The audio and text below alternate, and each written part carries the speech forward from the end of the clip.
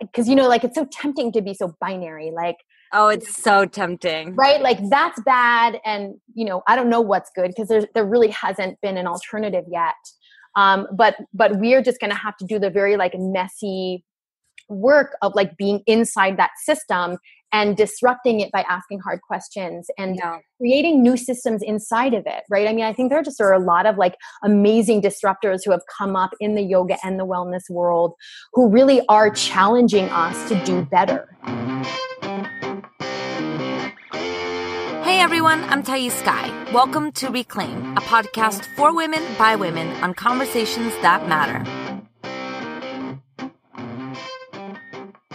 Hello, hello, everybody. Thais Sky here.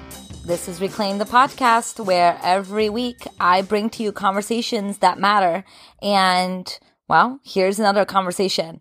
This one is with Kerri Kelly, and you are in for a treat. And I know I say that after every guest, but come on.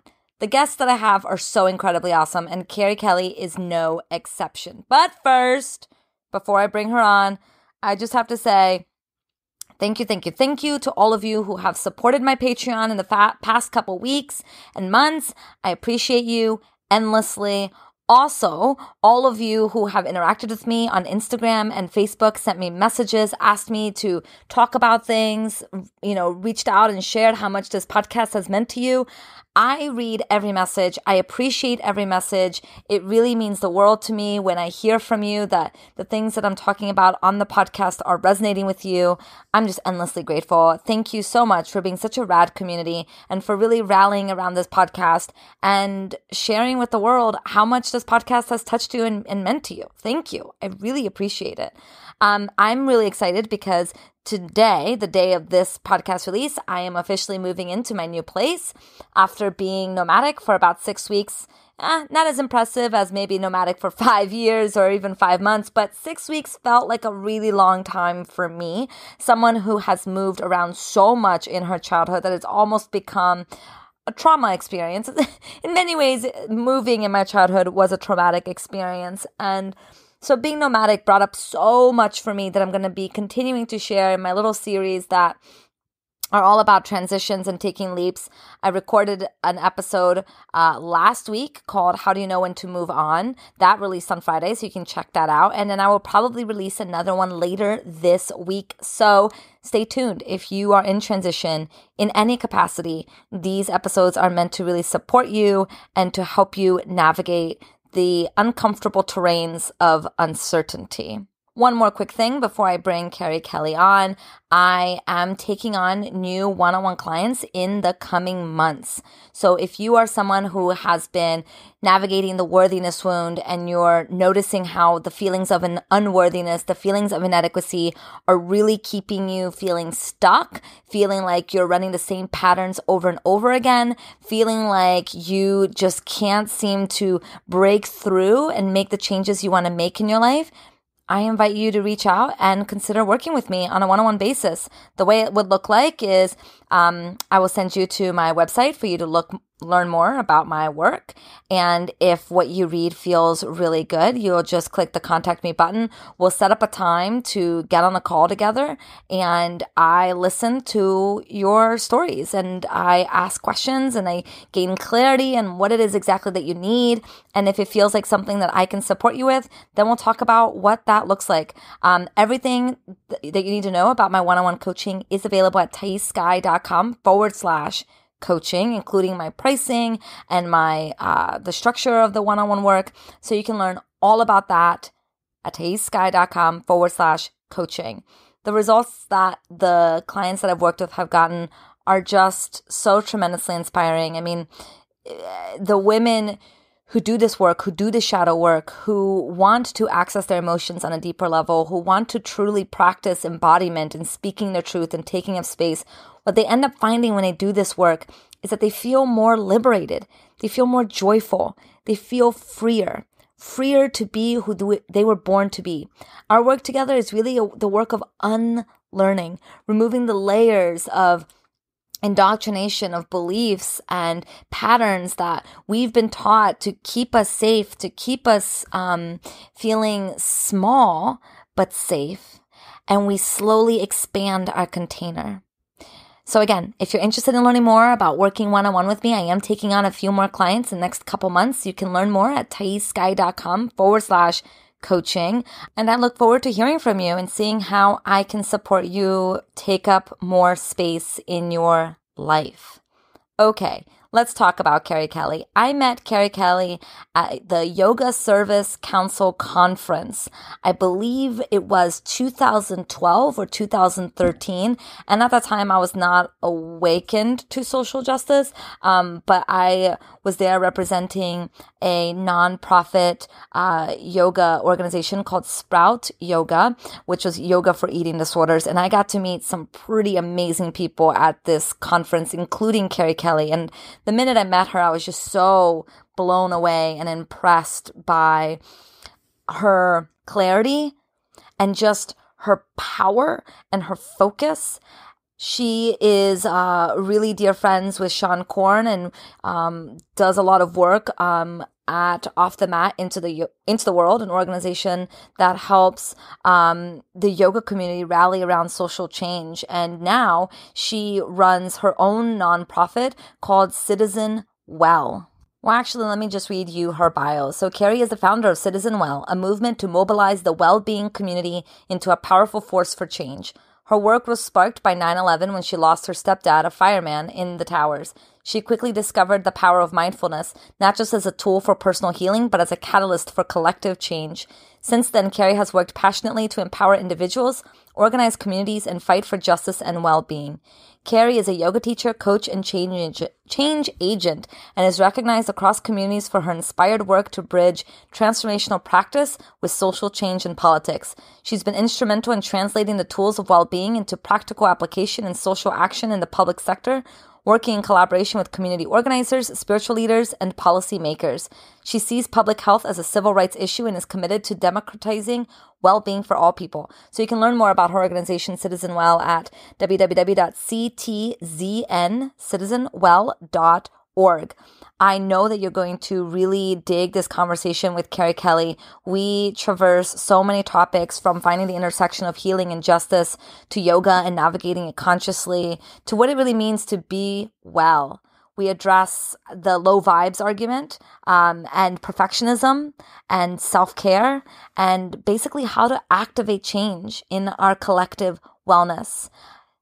While you're listening to this episode, I want you to be thinking about your own relationship with healing and justice.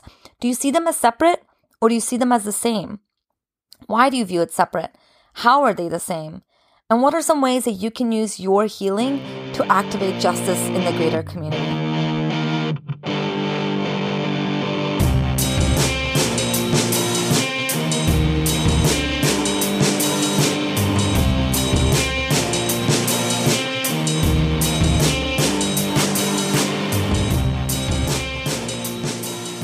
Right. Kerri Kelly, hi. Welcome to Reclaim the Podcast. I'm so excited that you are here. I'm so excited to be here. It has been, I think, what, six years since we met in person? A lifetime, actually. Six yeah. years ago, I was married. I lived in California. and now I'm divorced. I live in New York. Long time. Wow. Yeah. Big changes. Mm-hmm. Um, so for people who are not familiar with you and your work, tell tell us a little bit about you. Oh my gosh. Um, like the Cliff Notes version. Yeah, something I, like that. I just had my 43rd birthday, so I feel um, I'm like reflecting on how many lives I've lived. I lived um, a corporate America, like pretty traditional, predictable, like white girl from the suburbs life for 25 years. So there was that life. Um, and then 9 11 happened, and I lost my stepdad, mm. who was a fireman. And that, as you can imagine, um, catapulted me into a whole other life, which became my my life of healing and social change, um, and completely unexpected. Um, but yoga was really the place where I I landed after 9/11, and I sort of fell apart and fell back together again. Mm. Yeah, well, you know, one of the things that I just am very att- attracted, like magnetized by you and your work is how you have found that intersection of healing and social change. Yeah. Yeah, because for me the way that I found yoga it was never separate from the the political um, from the social justice, right? Because I I found it in a moment where I was becoming aware of of the world beyond my bubble right like 9-11 mm-hmm. like dropped on my doorstep and i i actually couldn't for another second ignore what was happening around the world like the world actually came to manhattan yeah, and, yeah. and kind of like took apart my life as i had known it until that moment and so for me the yoga had always been um, intertwined with my my my relentless quest to understand what was happening in the world and what my relationship was with the world. And so it was never really for me like an individual um, path, although that was there for me. Like yoga was the was the the journey towards healing after 9-11 but it was just so much more complex with me for me because it included all of this other stuff right it included really trying to understand how we got here it included having to actually unlearn all of the things that i had been taught when i was young about what was safe um, what was true um, what was real what was american um, and really forged a whole different path for myself. So that was the thing that actually um, got me to where I am today. But it was a long and messy journey of really having to unravel um, all all of the ways in which I had been conditioned, right, in in sort of like my white, um, um, you know, female. Um, suburban capitalist culture, and really trust a whole new path, both both on the mat and off the mat. Um, and so I'm grateful that that those things that that intersection existed for me from the beginning because it really helped me not just like um, really lean hard into the relationship between yoga and social change, which is why I met you and why I really fell into the work of off the mat into the world, but it but it really um, um, it revealed a way of being in the world that allowed me to be not just connected to like the deepest part of myself mm. but but connected to like the true the hard truths um, and the reality that we were living in and that we are still today I just I'm wonder I, I'm so curious about then how you've been navigating the yoga world and staying sane in the bubble of yoga that is so so about being pr- a privileged sn- kind of small bubble world. Like I, the amount of patience i just don't i just need to know how you do it. Like how do you do it? Well it's it's it's a conflict right? Because when i think back to my yoga journey um, i can I, I can be really grateful. I mean i have to be right? Like it really did I know it's like dramatic to be like yoga saved my life, but it really did. Like up until that point, my life was a lie, right? Like mm-hmm. I was doing the thing I, I was supposed to do. I had drank the Kool Aid, like I, you know, and I like I did, I did like I had all the checks on the boxes according to the way I was supposed to live my life. So yoga really disrupted that for me, and and um, and helped me find my truth um, helped me heal, helped me navigate like an impossible moment, uh, which was 9 11, um, and my divorce, like, and all of the moments I've had in my life where I've, you know, where I've, um, where I've lost myself, where I've lost my ground, where I've lost my identity. Like yoga has been the con, like, like the constant friend, right? Yeah. yeah. Um, the unconditional lover. Um, so I, I, I have that part of my practice. Um, and yeah and i have a lot of um, uh, frustration. I have judgment you know that's like you know dirty and not cool. Um, right like like i was just having a conversation with my friend this morning about goop. Like i have i have thoughts i have feelings about goop and what goop is doing to the wellness world and to like our culture as a whole and our relationship with what it means to be well and who gets to be well and who doesn't right? So like i have all of these unhealthy unyogic feelings about um about kind of the yoga bubble the yoga culture that you're describing. Um but it is a paradox for me because I, I have the part of me that is so grateful um, and i have the part of me that is so fucking annoyed.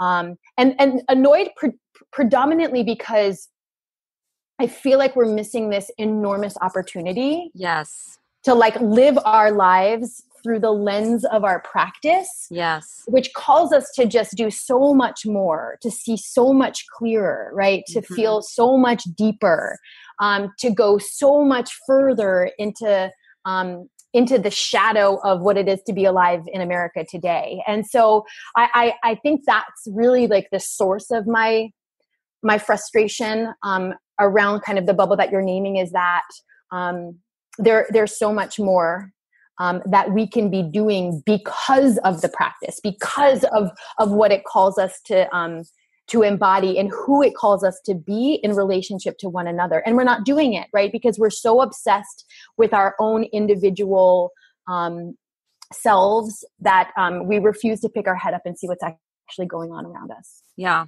Yeah. And I know that the phrase, like, um, take your practice off the mat, is a very popular phrase. But what that ends up looking like for most of us, or at least it looked like for me, was, oh, I just take a deep breath, you know, mm-hmm. throughout my day, which, hey, can yeah. be life changing. I am not minimizing the power of a good deep breath, but at what point do we have to just be honest with ourselves that there's so much more that that means beyond just being a little bit nicer you know in our 9 to 5 job yeah you know like the um, the breath is really important um, and i'll t- and the embodiment the feeling is really important and and to say that it's not a revolutionary act in and of itself is actually not true right in a in a culture and in a system that is designed um, to separate us from ourselves, to mm-hmm. numb us out, to distract yes. us, um, to convince us that we are separate and not interdependent. Um, is actually radical and revolutionary. So when yeah. we reclaim our bodies, when we reclaim our breath, when we reclaim relationship, we really are doing the work of like of, of radical revolutionary change. And mm-hmm. and there's an and. Mm-hmm. Um, when we don't remember that our well-being is bound up with other folks like when we think that it's just enough to hit our mat to meditate every day to drink a green juice to drive our hybrid to give to a charity here and that there as like our um, as our citizen duty right as our our commitment to wellness fulfilled um, then we miss out on like the whole truth of, yes. of what's happening all around yes. us. So to me, like that, and that is the truth of yoga, right? Yoga is to yoke, it's union, it affirms the, the interdependence of our existence. Yeah. And so when we start to understand that for ourselves, that that I can't be well unless you are well, that my well-being is impacted, even as like a white woman um, by the structural racism that has plagued our country for over 400 years. Like when I realize that, then actually I can have the fullest experience of yoga, the fullest experience of wellness and of well being and what it is to be alive um, and in my full purpose and potential in the world. But we forget that. And part of why we forget that is because we live in a culture of of of individualism right? That that encourages us to fend for ourselves that says it's enough to have personal responsibility to take responsibility for ourselves for our finances for our careers for our health and our bodies. And as long as we do that that's enough. And it's not. It's just not enough. And we know that now right? Because um, it's really coming to a head in our country that we just aren't well collectively we are not well um, poverty you know whether you can look at any statistic in our country child welfare poverty family separation um, black and brown boys being killed by law enforcement um, you know, Roe is about to be revoked unless we prevent, you know, Kavanaugh from being appointed. And so there is so much at stake that is essential to our collective well being. Um, so much so that like when we buy into the myth that our well-being of, of like the well-being of me or that our well-being is individuated um, and individual and isolated from other people, we are actually complicit in upholding the systems of oppression that that keep people unwell. And so I just like for me, like my journey, um, you know, you're like, tell me how you got here. It just became like so intolerant for me mm-hmm. um, in my own like quest for truth and in my own seeking of wellness um, to turn my back on that and so now like i like this you know my political um, passion um, my you know my commitment to love and justice is a reflection of my wellness practice. I think it is as important as hitting the mat as taking that breath um, as you know sitting on my cushion as uh, drinking, um, you know, health and eating healthy food. Um, it's as important as taking care of the environment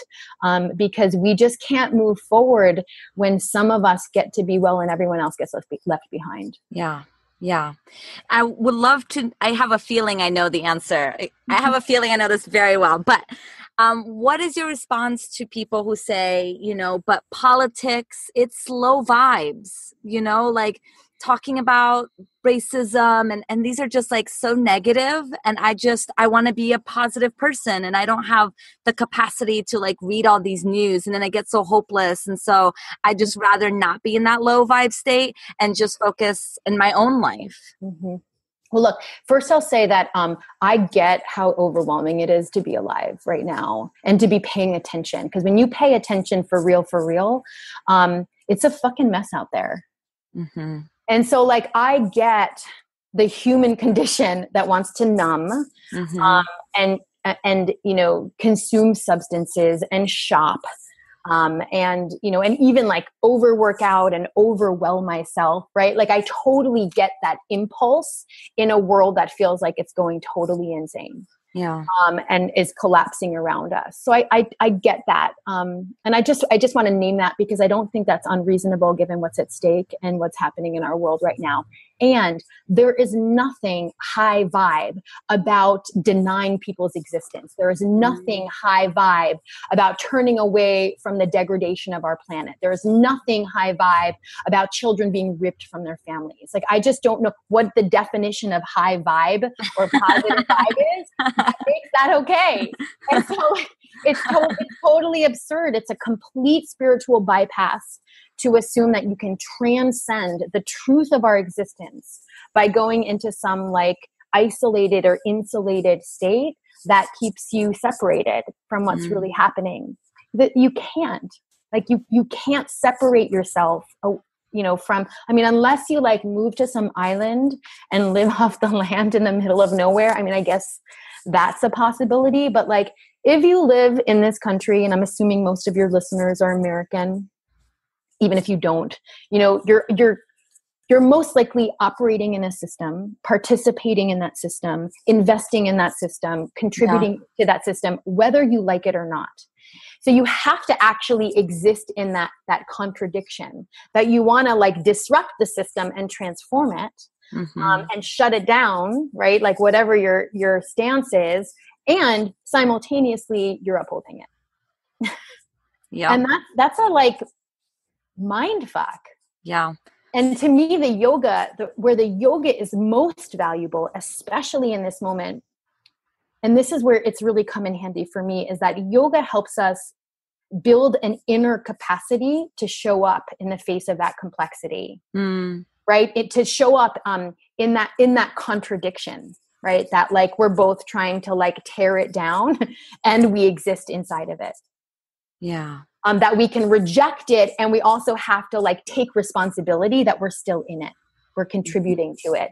And that's hard i think that's a hard paradox for us to um, to contend with and to reckon with but the yoga actually allows us to hold paradox and contradiction and tension and complexity. And that to me that building that muscle through yoga through the, the embodied experience of yoga on the mat actually allows us to apply it um, out in the world where things are just really messy.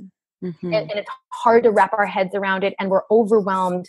But you know what? Like we can show up anyway. We yeah. hit the mat anyway. We take the breath anyway. We lean in anyway, even when we're scared, even when it's hard. And that's the practice, right? And so, like, who better than we, those of us that ha- are predisposed to this practice? Um, who better than we to show up?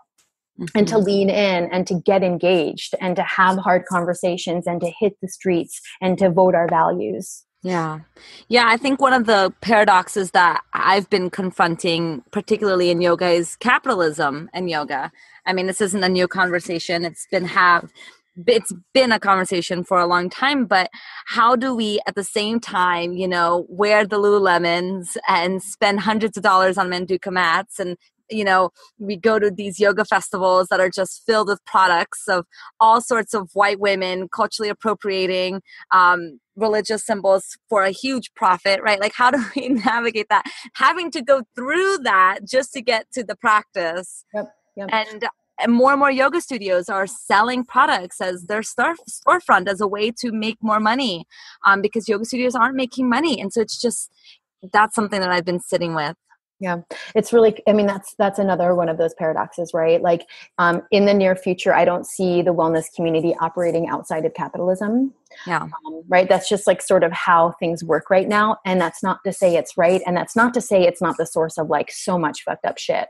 Yeah um, but I think like we can exist inside that system and ask hard questions around around cultural appropriation. Yeah. Right. We can ask important questions around exploitation. Right. Like, mm-hmm. um, how are we selling services um, on the backs of folks? You know, from whom those practices originated. Um, how are we creating uh, environments that are radically inclusive so that people don't feel excluded or so that it's not ex- you know um, not accessible for them. So I, I, think that like there's nuance to the way in which we can be navigating those waters that that um I because you know like it's so tempting to be so binary like oh it's so tempting. right? Like that's bad and you know i don't know what's good because there there really hasn't been an alternative yet. Um but but we're just going to have to do the very like messy work of like being inside that system and disrupting it by asking hard questions and yeah. creating new systems inside of it right i mean i think there just are a lot of like amazing disruptors who have come up in the yoga and the wellness world who really are challenging us to do better mm-hmm. um, whether it's as white folks or white women, whether it's as um, yoga studios that are trying to be more inclusive mm-hmm. um, and more welcoming, whether it's like brands like Lululemon and Manduka and Wanderlust, right? That um, that believe in creating a culture of collective wellness, right? But that may not be going all the way in way, you know, in in in how they're creating the conditions for that, right? I think that like, can we be um, authentic and honest, like brutally honest about like where we are and um, as like a whole wellness industry and the fact that like we can do a lot better. I don't even think it's like what's wrong and what's right. I think it's what's better. Mm. Um, you know and not in ways that replicate systems. I think often we do that or we or we do things for show right? Like we we do charity for show because it makes us feel good or it makes us look good. But i mean like like what does it look like to ask hard questions of ourselves whether we're leaders nonprofits corporations um, um, spiritual teachers right? Like how do we take responsibility for our um, our contribution and our participation? Yeah. and the ways in which um, whether it's our voices our platforms our policies are actually perpetuating systems of oppression. And and to me and i don't i don't hold myself because like i'm definitely not perfect um, and i live in like i live in like white skin right? So i like i'm gonna be like unlearning white supremacy my whole life. Yeah. so i don't like have any um, assumption that I'm going to graduate to some transcended state of like pure consciousness um, and get some gold star. Like I get that I'm going to be doing this work for the rest of my life. And and just when I answer a hard question about my existence and about my responsibility, I'm going to be called to answer a deeper one. Yeah. And so to me, like I I think that um, what I want for like the the leaders of this culture, the people with influence and reach um, and leverage is um, for them to actually like step into the hot seat and ask hard questions um, and and challenge themselves in the way in which they can move the needle and i think we as like a consumer culture um, need to like be, I don't want to say it need to be patient, and I don't want to see need to be palatable because you know we're um, we're an 80 million uh, we're we're 80 million people in the U.S. and I think like a 300 billion dollar industry. Wow which is a lot of spending power. Yeah. So like so I actually think um, if we got organized, we could actually pressure companies in particular to do more and to move faster. And I also think as a culture and a community that we need to be okay with the fact that people aren't going to go from 0 to 80 mm-hmm. and they're not mm-hmm. going to become perfect overnight. Mm-hmm. Um, that's just not where we are in our existence right now.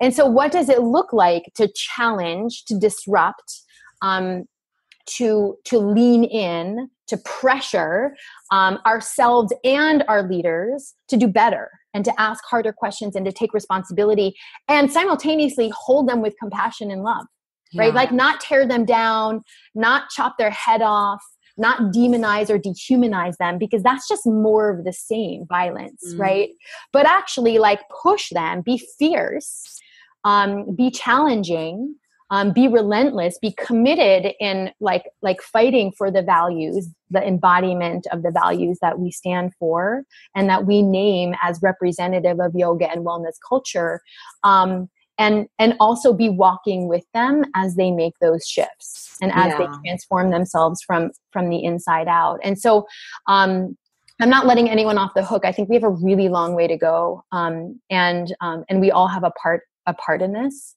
But I do think that the idea that someone's going to be perfect overnight or or going to become right or you know is just like ridiculous. Like like what are what are other metrics that we can um, acknowledge or celebrate um, that are an indication that folks are moving in the right direction and then how do we hold them accountable to that right yeah. the same way that we need to hold our political leaders accountable right how do we hold ourselves accountable how do we hold our leaders accountable to what they're saying to what they're promising um, and to and to where they need to be so that so that we can so that we can like lessen the harm right mm-hmm. like to mm-hmm. me it's like that's where we gotta be like invested in right now is like yeah.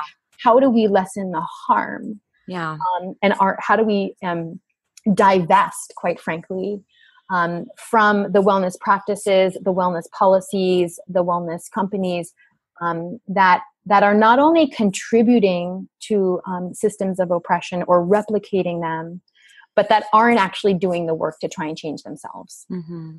And I am seeing some companies try to do that. Yeah. Yeah, I am seeing it too. I'm curious how you have navigated or how you support other people in navigating the guilt and the shame that is often a part of this conversation you know because we come in and we say this is this is the vision and then the immediate response is okay but i'm just a white a white woman who wants to do yoga and are you telling me that i, I can't enjoy yoga? And then there's often so much shame and guilt associated um, with the cognitive dissonance of what we're asking people to do and i would love to hear how you've navigated or how you support others in navigating that well, I mean, I start by just telling my own story of shame. I mean, yeah. like, like I, you know, I was like a perfect specimen. 25, you know, I was like a perfect specimen, white woman, completely clueless and totally invested um, in in a, a white supremacist um, yeah. culture and uh, so i was really indoctrinated. So I, I, start there. Like i like i might have more words now more vocabulary more understanding more consciousness but i a have a long way to go and it's been a long journey to get here. And it wasn't that long ago um, that i was fucking shit up all over the place and i had no clue right? Mm-hmm. it also wasn't that long ago that i had very good intentions and i wasn't making a very good impact mm. that even like even in the yoga service world, right?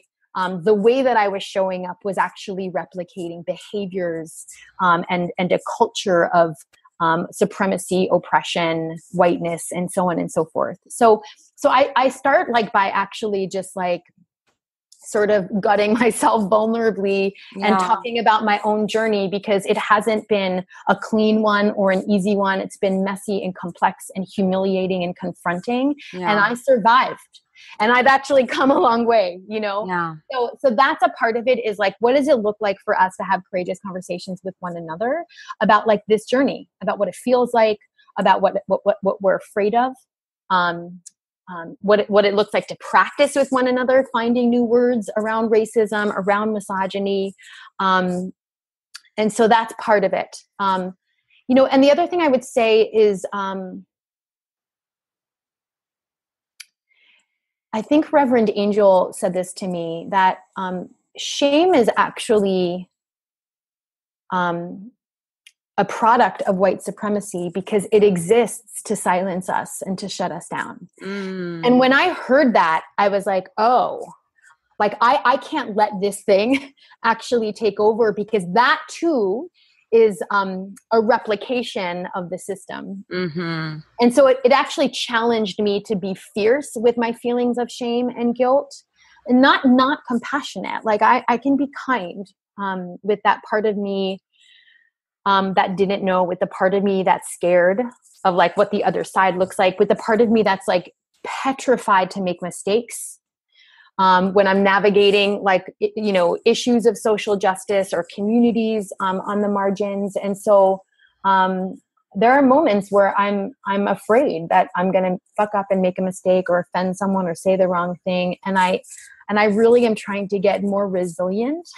Mm-hmm. In um, in making mistakes so that I can actually acclimate more quickly. Um, yeah. And I have a lot of allies in my life that are like really good at calling me up and yeah. not not out. Um, so that's what I would say is like, um, um, um, tell your story, um, especially white women. Like, talk to other white women. Don't go to your like one black friend and ask them to like explain everything about racism to you, because you're finally ready to hear it like don't do that right? Because that just puts like a really unnecessary burden on the, on the on them. But rather like go to white folks that you know and have hard conversations and and let it be messy and and and ask questions and and say i don't know when you don't know. And then be willing to like co-create a culture of mistake making right? Um uh, Micky ScottBey Jones calls it brave space, right? Brave space um, allows for mistakes, right? Brave space understands that we're all human and we're all doing the best that we can, and we're gonna we're gonna make mistakes. We're gonna impact each other, um, but that's what it looks like to be in relationship, and yeah. to be moving towards relationship. Yeah and to be embodying practice right and so like what does that look like in culture and i just i think that that's so radical in a culture that like really rewards perfectionism yes. you know really like demands that we be perfect all the time. We say all the right things. And even ally culture replicates that right? Ally culture ally performative allyship is all about like saying the right thing and having the the the best moves. And i mean you see that even on social media now that like it's like the ally olympics you know? Like who's going to say the most woke thing? And, and, to me like you know if we're doing anything for exposure um, or if we benefit from it or if it's all about us like it's maybe really not authentically allyship. Yeah. Um, and so so to me it's like like like be in authentic relationship with one another around leaning in and getting vulnerable and doing the work and the shame is going to come up and the guilt is going to come up and it's going to feel icky um, and gross the same way that like when we hit our mat and we're like sitting in that pigeon pose for 25 minutes in Seane Corn's class we want to you know like we're confronted with all that stuff but we stay. Yeah. And it changes. Mm-hmm. it's never permanent right? And this moment is not permanent right? And the shame is not permanent. Um, and so um, so i think it's practice you know? It's like it's like the thing that we we keep coming back to. It's like a practice of like being more authentic being more honestly ourselves in every moment um, and not letting those masks drop in right? Not letting the shields of shame and blame and um, and the distraction and the numbing it's just like drop it and and show up for real. Yeah. And um, and trust. Mm. Brilliant. Brilliant. All right. So what's a what's a hard question that you've been navigating or that you've been asking? Honestly, um it's a great question. I feel very confronted right now. the question that I've been asking, especially since I've gotten into this work that's related to the question that you just asked me before, um, is why um, I'm so adverse to taking care of myself mm. you know and um, the more that i've become aware and engaged in issues of, of social justice and liberation um, the more i've really neglected my own well-being um, and my own like ability to thrive and maybe not like consciously but that's sort of like happened um, like i feel so like in the in the movement and in the revolution um, that in many ways I've I've really benched myself, um, mm. which I know to not be authentic to this practice, right? Because our well being is bound. So I need to be well in order to be in the game and to and to play in the arena. um, but there's something and it might be the dismantling of my whiteness and my privilege there's something to like where i am in my own um, in my own evolution uh, that has decided that my thriving is not good enough mm. for this moment in our um, in our country. And i'm really trying to unpack that and like understand like what is the belief that's underneath that that um because it's not always conscious right that causes me to make decisions um, against my own well-being um, and maybe for the well-being of the whole. Yeah. um, but it's like i mean I've, it's cost me a lot you know it's it's cost me a marriage. It's cost me i broke my back in a bunch of different places you know it's cost me my my physical health and and um and well-being you know it's cost me financially it's cost me relationships. Yeah. And so um so i i'm really clear now that the price that i've paid for neglecting myself and for assuming that i don't get to be included in my own movement of well-being um is really a myth in and of itself and isn't serving me and isn't serving my work. And so that's sort of the question i'm holding constantly for myself is like what does it look like to be fucking all in to be the fiercest advocate to be you know to be brave and courageous um, and um, to and to allow for my own um, vitality to mm. coexist with that? Yeah and so that's been really really confronting for me over the last couple years. Yeah. And i feel like something that just popped into my mind and i don't know if it's applicable to you but it may be applicable to some people who are listening and who resonate with your experience is that it's almost like it's almost like a defense mechanism. Like if i don't take care of myself and i can't thrive and i can't really show up then i'm off the hook. I'm off the hook from having to show up and mm-hmm. having to live my potential. Mm-hmm. um, mm-hmm. and I. I, I, I don't know. I think that there's something there to be said about the fear yeah. of our own potential. Yeah.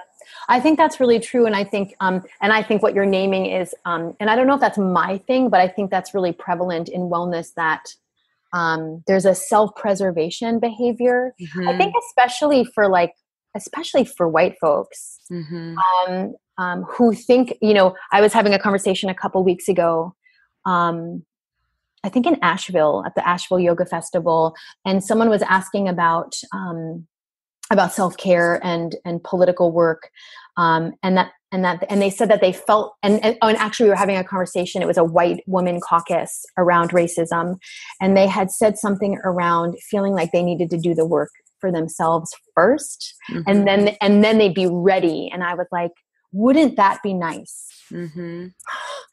that we had time for that mm-hmm. and we don't right so of course like we want to be taking responsibility for like our own awareness consciousness well-being capacity courage um, but actually that has to happen simultaneously to us being like in full engagement um, yeah. in the world around dismantling systems of racism and, and, getting politically active and so i think to your point there is a culture um, even in even in yoga service um, of um, first we need to take care of ourselves and then we can be engaged in the world. And i actually don't agree with that. I think it's like we need to take care of ourselves and we need to be engaged in the world at the right. same time. And that's messy shit.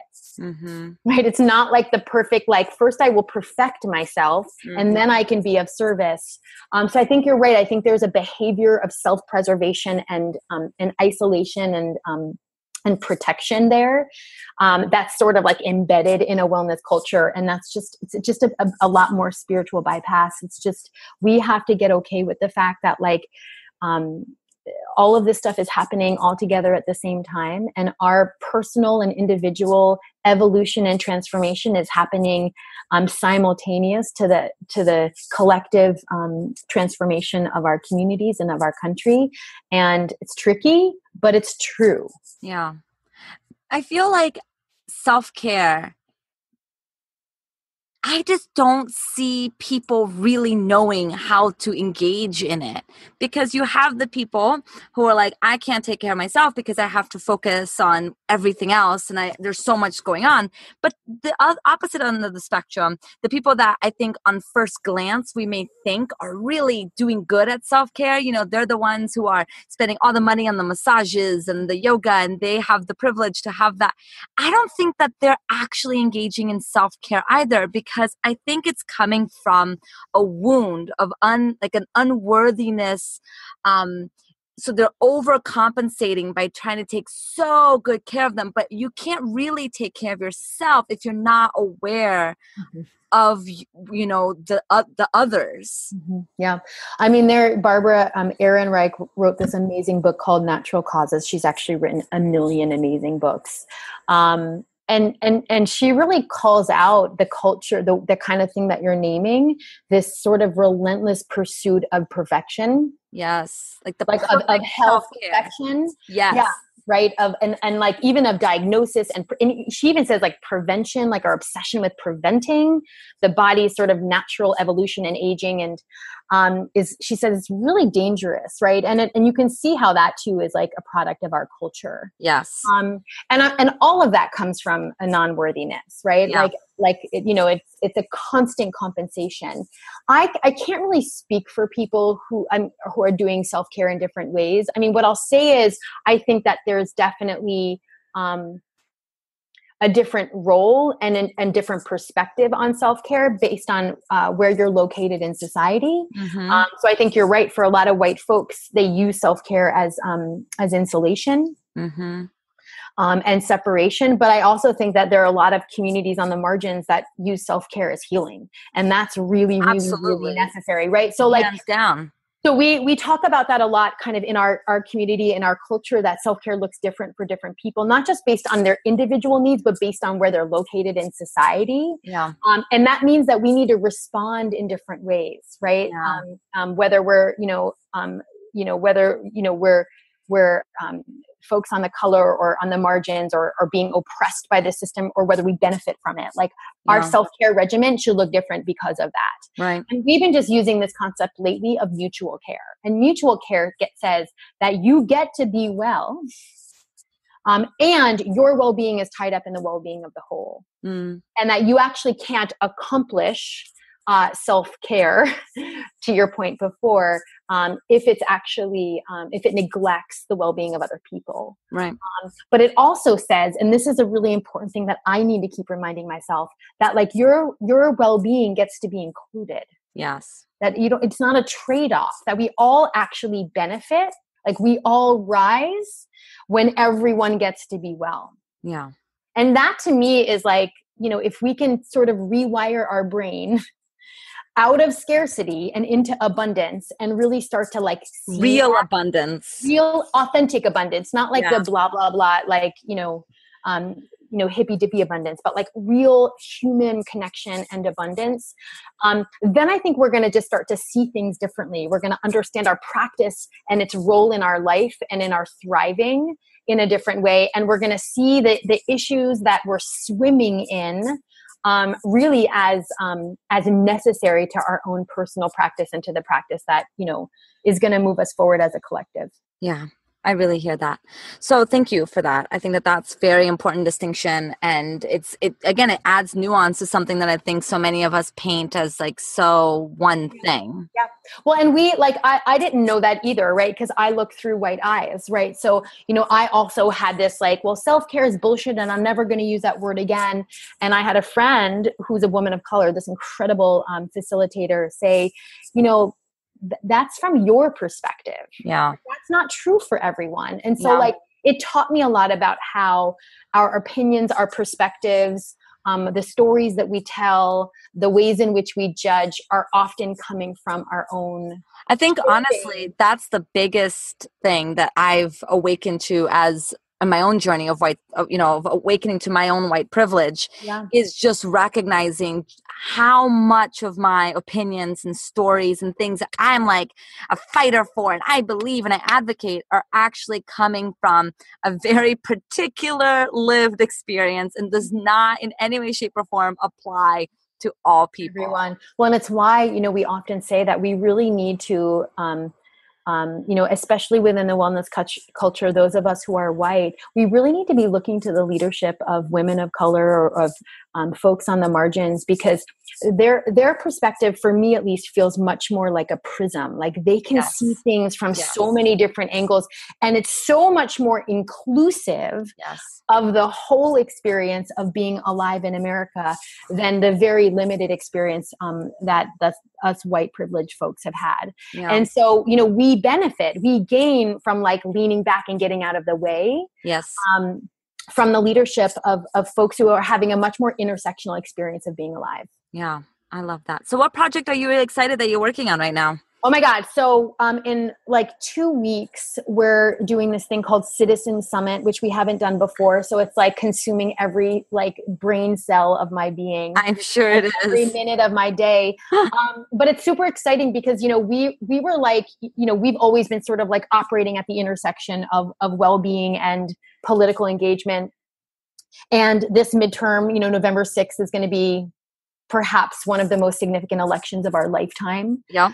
Um, given that like every branch of government has been hijacked at this point. Yeah. Um, and and as a community, and I know you know this, you know, we really just haven't been organized and coordinated. That's not to say we're not a community that's not, um, uh, you know, engaged in issues and outspoken and um, and involved, but we're not organized. Like we're not actually aggregating our voices. We're not um, uniting our feet on the street. We're not like uh, uh, um, organizing our collective votes in a specific direction that ref- that reflects our values. And so um, we are organizing this summit. Um, which is basically it's going to be in Boone, North Carolina. The theme is called "This Is Our House." Mm. Um, speaking of the house, the one that that's a you know over yes. there. Yes. Um, and it's really about reclaiming um, our role and responsibility in in taking back our government. Um, and, and in taking back our liberation. And so we've got amazing speakers coming. Marianne Williamson is going to be there.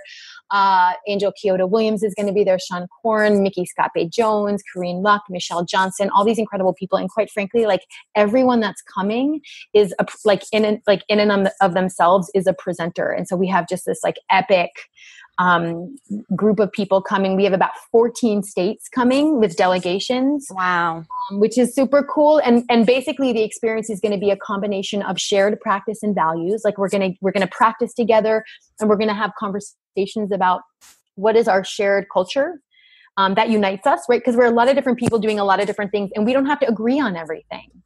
Um, but what are like what what can we center yeah. um, as the thing that brings us together and what we can all fight for together? And then we're going to be doing skill building around creating brave space around deep canvassing around getting organized in our communities.